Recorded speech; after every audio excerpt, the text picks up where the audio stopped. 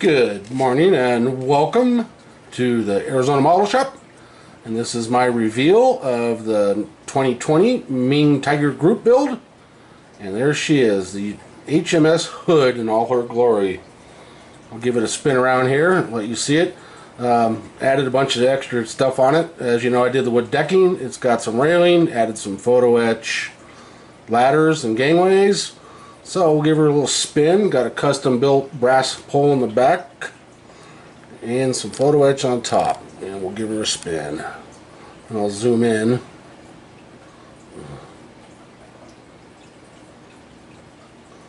I even did the little breech breeches, open breeches in the back of the the bigger guns right here. They're all silver and everything else is black.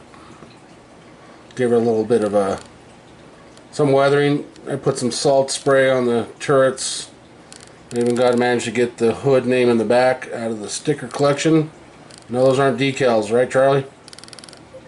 And there we go. All the portholes were drilled out and filled. Okay, let's see if we can zoom in here for you and give you a little close-up. And there she is. HMS Hood. Tragic loss for the Royal Navy. Neat ship though. A lot of history.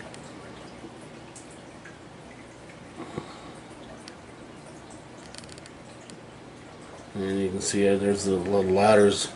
See if I can zoom in on that one. There we go. So we got ladders both sides.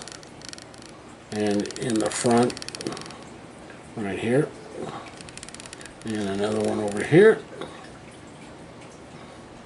And if I can get it up there, zoom in on the, there's the photo etch radar that I added, took out the piece.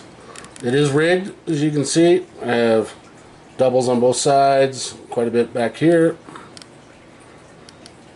But there it is. I even added a piece of photo etch railing back here.